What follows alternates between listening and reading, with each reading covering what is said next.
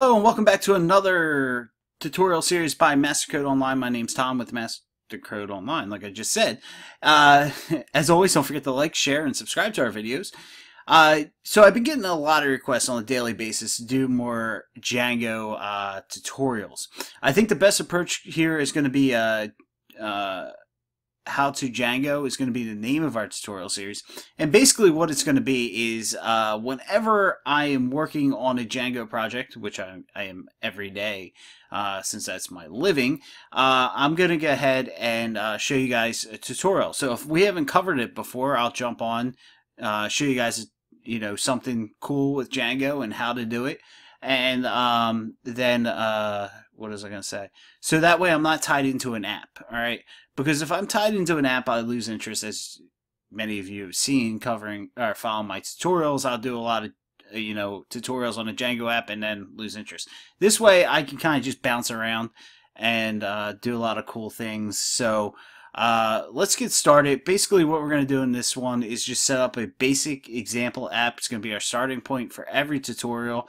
Um, then we'll you know, when I got something cool to show you guys, I'll upload it and it will help you guys uh, learn Django. So let's get started. Um, so I got a directory on my computer called Django. So I'm going to cd into Django. And then I'm going to do virtual env and I'm going to call it example. That is going to be the name of our um, app is going to be an example. So we're creating a virtual environment for that app. So once it's done loading, or creating, loading, creating that virtual environment, there we go. I'm going to clear my screen so we're back at the top, and I'm going to CD into example. Now I'm going to activate that um, virtual environment by doing source bin forward slash activate, and it will activate that, and I can list out what's in there. We got bin, include, lib, and pip self check, and then I'm just going to do pip install Django.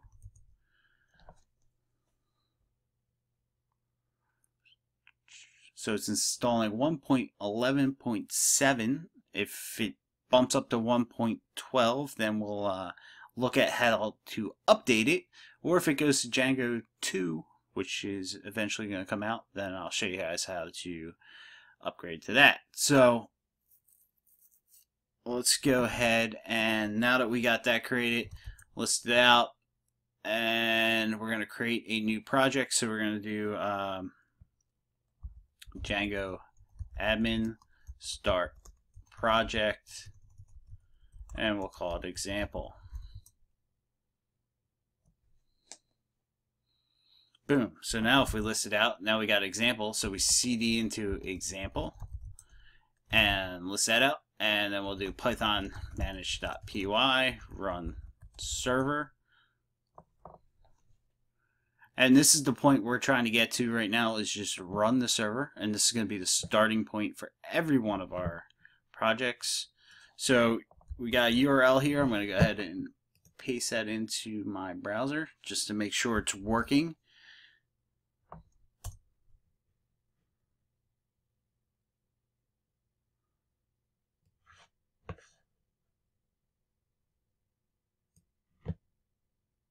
And there we go. It worked. Congratulations. All right, so uh, this will be the starting point for every one of our projects.